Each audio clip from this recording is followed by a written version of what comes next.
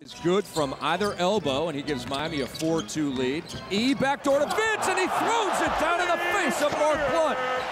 One thing you like about E, here's a guy, you know, with all Dwyane Wade too. the Stars have given us what we want early on. Yes, they have, and I think that's the one thing you know in preseason, being able to play. You know you're not going to play a lot of minutes for Vince Carter and Dwyane Wade, so you're going to try to come out here, especially being in London, to put on some of a show, Rick, right in the first quarter.